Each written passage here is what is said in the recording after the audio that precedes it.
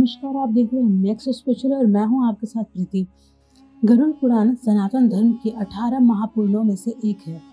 माना जाता है कि गरुड़ पुराण में भगवान विष्णु और उनके वाहन गरुड़ के बीच बातचीत के ज़रिए लोगों को नीति, नियम, सदाचार, ज्ञान, तप, यज्ञ आदि की बातें बताई गई हैं। साथ ही मृत्यु के बाद के संस्कार, आत्मा और तमाम लोगों का ज़िक्र किया गया है। गरुड़ पुराण में मृत्यु के बाद शरीर के अंतिम संस्कार से लेकर पिंडदान और तेरहवीं तक का महत्व बताया गया है। यहाँ जानिए कि मृत्यु के बाद पिंडदान करना क्यों ज़रूरी होता है? गरुड़ पुराण के अनुसार मृत्यु के बाद मृत व्यक्ति की आत्मा तेरह दिनों तक अपने परिजनों के बीच ही रहती है। वो फिर से शरीर में प्रवेश कर जाना चाहती है, लेकिन वो ऐसा नहीं कर पाती।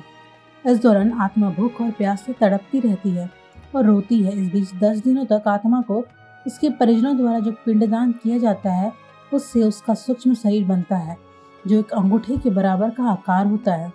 यही सूक्ष्म शरीर तेरह दिनों बाद फिर से यमलोक की यात्रा को तय करता है और वहाँ के शुभ और अशुभ फल को भोगता है। पहले पिंड के दिन के पिंडदान में मुर्दा सिर दूसरे दिन में गर्दन और कंधे, तीसरे दिन में हृदय, चौथे दिन के पिंड से पीठ, पाँचवें दिन से नाभि, छठे और सातवें दिन से कमर और नीचे का भाग, आठवें दिन से पैर, नौवें और दसवें दिन भूख, प्यास आदि उत्पन्न होती है। इस पिंड दान से आत्मा को बल प्राप्त होता है, जो उसे यमलोक तक की यात्रा करने में सक्षम बनाता है। इसलिए गरुड़ पुराण में मरने वाले व्यक्ति के लिए दस दिनों तक पिंडदान ज़रूरी बताया गया है। माना जाता है कि जिस व्यक्ति के परिजन उसके लिए पिंडदान नहीं करते, ऐसे लोगों की आत्मा को यमदूत तेरहवें दिन घसीटते हुए यमलोक तक ले जाते हैं। ऐसा व्यक्ति प्रेत बनकर इधर उधर भटकता रहता है।